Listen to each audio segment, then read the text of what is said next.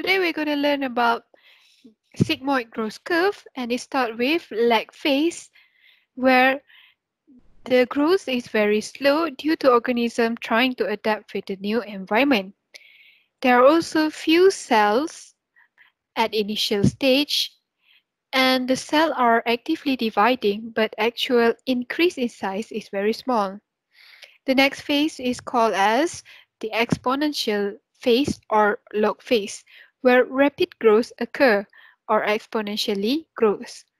The cell divides and enlarge, and there is no constraint on growth because there are excessive nutrients. There are also enough space and there is no accumulation of toxic waste. The next phase is decelerating phase, where the growth phase slow down due to limiting factors.